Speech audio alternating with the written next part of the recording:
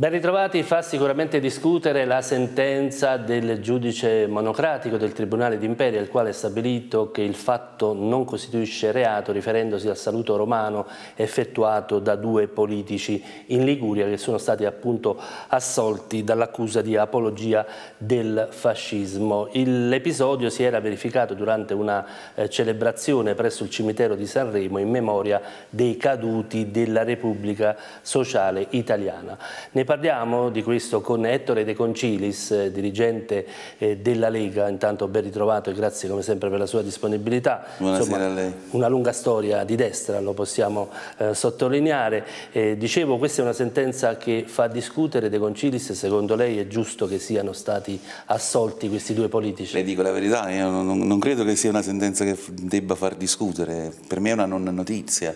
anzi è una notizia d'appendice di cronaca giudiziaria, peraltro di un giudice minore e di provincia. Come si possa ipotizzare di condannare qualcuno per una gestualità eh, e peraltro di condannarlo anche a pene piuttosto severe perché il pubblico ministero aveva chiesto tre anni se non sbaglio per una gestualità in un paese dove probabilmente l'attenzione di politica, magistratura e, e società civile dovrebbe essere rivolta a ben altre criticità è oggettivamente per quanto mi riguarda una non notizia, cioè non riesco a configurare una fattispecie di reato o una condotta meritevole di essere punita quando eh, in particolar modo nella specifica occasione trattavasi di una commemorazione funebre, insomma, non, cioè non, non ci vedo una razza violenta o un atteggiamento in qualche modo criminoso da parte dei soggetti che l'hanno fatto, tutt'al più si può definire determinati atteggiamenti che qualche volta pur si vedono nelle cronache televisive, eh, diciamo, di un nostalgismo qualche volta sentimentale, altre volte pittoresco, ma, ma sicuramente insomma, non, non meritevoli dell'attenzionamento della magistratura. Ecco. Lei dice il fascismo non può tornare? ma e ovviamente non può tornare nella misura in cui è stato un fenomeno storico caratterizzato sicuramente da uh, un contesto susseguente il biennio rosso, il, tutto quello che è conseguito dopo la vittoria uh, monca della prima guerra mondiale, uh, oggi il mondo va in un altro senso, le prospettive sono diverse la sensibilità comune è diversa, gli strumenti tecnologici, informativi sono diversi, non ci sono le condizioni, è stato un fenomeno irripetibile nella sua portata, diciamo, politico-istituzionale. Poi è evidente che le rivoluzioni, laddove esse arrivano a completamento e quindi non solo quella fascista in Italia ma tutte le rivoluzioni socialiste eh, certamente non si lasciano fermare da un'eventuale sentenza di un giudice monocratico di imperia quindi tecnicamente parlando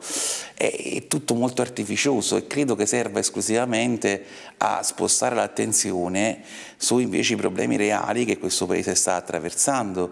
e fra questi anche una grave crisi dovuta al depauperimento della nostra sovranità. Certo. Eh, l'attacco a questa recrudescenza di fascismo che non c'è è sostanzialmente un modo per eh, non solo sviare l'attenzione della pubblica opinione, ma politicamente per orientare una sorta di condanna etica a chiunque si definisca di destra o sovranista. È un tentativo che naturalmente fallisce, basta vedere i risultati elettorali o i sondaggi, ma è anche un tentativo disperato di eh, una controparte politica che ha smesso di svolgere la sua funzione, c'è una sinistra che non rappresenta più gli ultimi, i lavoratori, i cosiddetti proletari, e che non ha altro sistema che cercare di, di, di, di mettere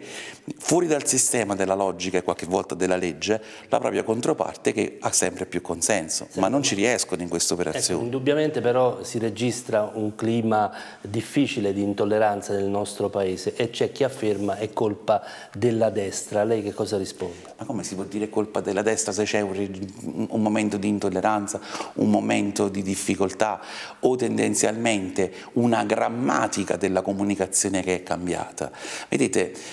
il Movimento 5 Stelle, l'esordio di un partito che, che, oggi è al governo del paese e che ha raccolto più del 30% dei consensi e nel mezzogiorno più del 50%, l'esordio di quel mondo politico è stato il Vaffadei, ce lo ricordiamo, no? È evidente che oggi la, la grammatica, la terminologia, la linguistica della politica è diventata più brusca, anche attraverso i social che danno a tutti l'opportunità di offendere, di denigrare, fin anche di minacciare. In un contesto come questo fa da cassa di risonanza appunto la uh, immediaticità della comunicazione e episodi eh, di, eh, indubbiamente condannabili eh, di, di, di, violenze verbali o di minacce, chiaramente vengono amplificati. Ma è una cosa ovvia che questo è il linguaggio che purtroppo oggi si adopera. Eh, Salvini tutti i giorni trova attacchi sui suoi profili social, ma anche sulle, sulle pareti delle, de, de, delle mura delle città,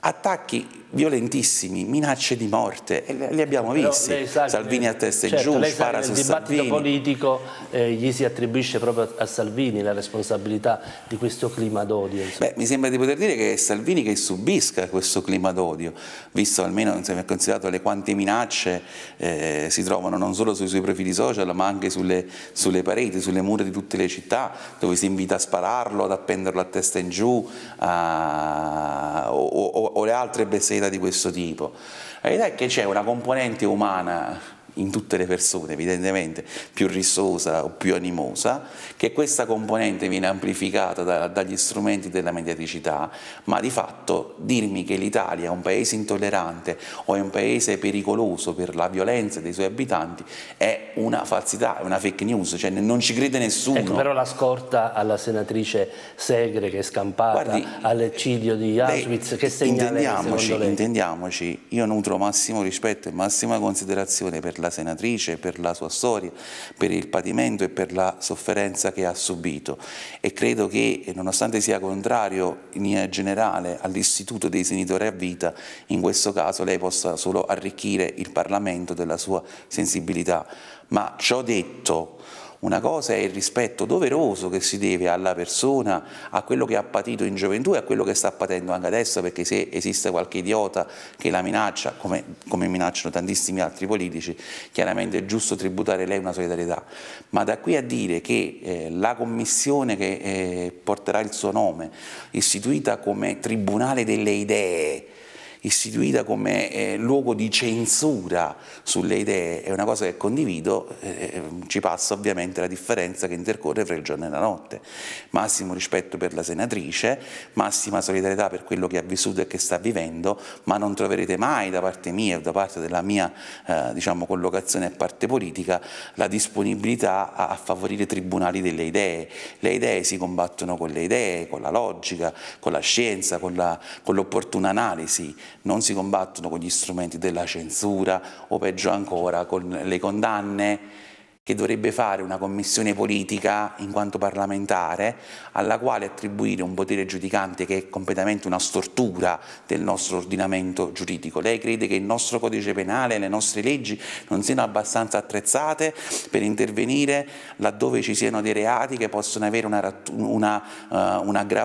una, uh, o, o diciamo, un'iniziativa basata sull'odio razziale sulla discriminazione? Ci sono gli strumenti. Voler metterne uno nuovo, giudicante e affidato alla politica, è proprio uh, qualcosa di orwelliano che a me fa paura in ecco, verità. Intanto si discute anche, fanno discutere anche episodi di razzismo che si stanno registrando nel nostro paese, l'ultimo caso arriva dal mondo del calcio con Balotelli, lei che idea si è fatta, insomma come valuta questi episodi che Guardi, si stanno verificando? Perché sono uno dei pochi italiani che non segue minimamente il calcio, nonostante diciamo, mi occupi anche di sport, ma non sono appassionato dello sport nazionale. Da quel che ho sentito esistono, da quel che ho visto,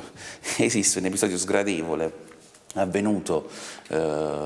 e perché ha visto coinvolte una ventina di tifosi perché da quello che ho sentito non, sì, non, no, non era un coro che coinvolgeva un, un, intero stadio, un'intera cura ma una ventina di tifosi che se l'è presa con un calciatore. Eh, questo accade in tutte le partite eh, di tutti i campionati in questo paese. Normalmente dalla terza categoria fino alla Champions League le tifoserie attaccano i giocatori avversari e in questo caso strumentalmente e in maniera idiotica idiota, ma eh, sempre nello spirito diciamo, della tifoseria, è stato attaccato un calciatore per eh, diciamo, il colore della sua pelle, altre volte saranno attaccati per altre cose, per altre motivazioni, per difetti fisici, per condotte non sempre diciamo, adeguate, perché poi nella maggior parte dei casi è su questo che eh, chi attacca eh, sceglie eh, il suo obiettivo. Eh, rimane il fatto che comunque fa parte de del gioco. Premesso che laddove c'è l'idiozia, l'idiozia vada censurata e vada in qualche modo condannata eticamente.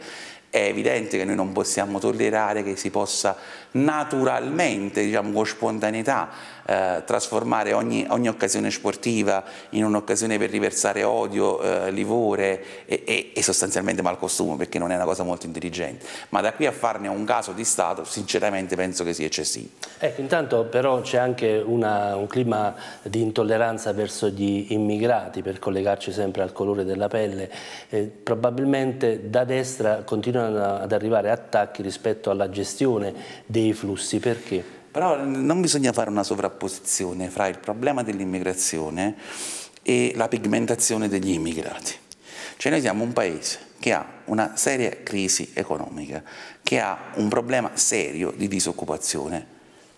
e quindi si ritiene che con un welfare in ginocchio, quale è quello italiano, con una spesa pubblica purtroppo costretta dalle necessità del vincolo esterno e dell'austerity che ci impone l'Europa, con un'alta disoccupazione, in particolar modo al sud, in particolar modo giovanile,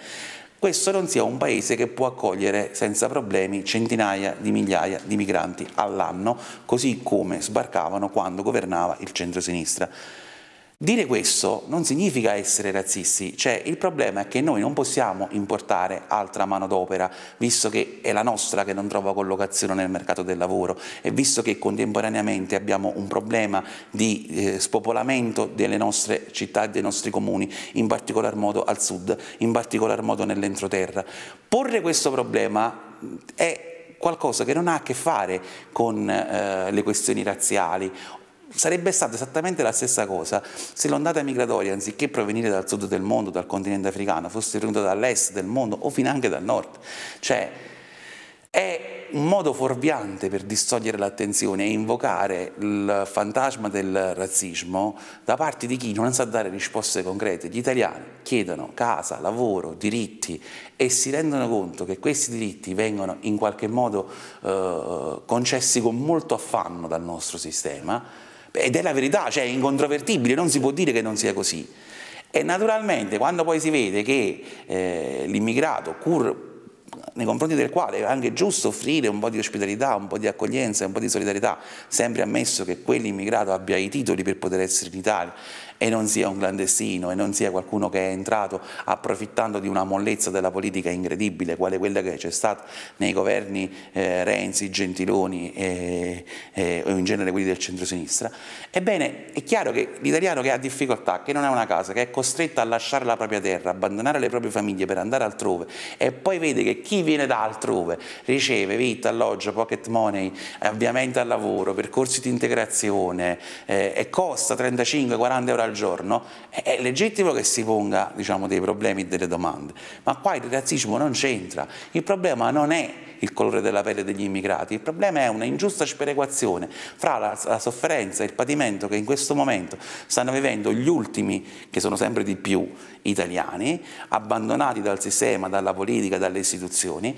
e la differenza che si fa con quanto viene concesso agli immigrati. Quando, quando uno dice prima gli italiani, è non è che Salvini, dice che, che, che, che i non italiani sono brutti e cattivi, dice che giustamente un sistema, un ordinamento si deve interessare secondo me in maniera ovvia, non sarebbe manco bisogno di ripeterlo, prima dei propri membri, dei propri cittadini, di quelli i quali fanno parte della propria comunità e poi, solo dopo, indubbiamente, deve offrirsi anche doverosamente, alla solidarietà, all'ospitalità e all'accoglienza dello straniero. Insomma, questa è la linea chiaramente portata avanti dalla Lega di Salvini. Io ringrazio Ettore De Concilis con il quale sicuramente avremo altre occasioni di confronto per parlare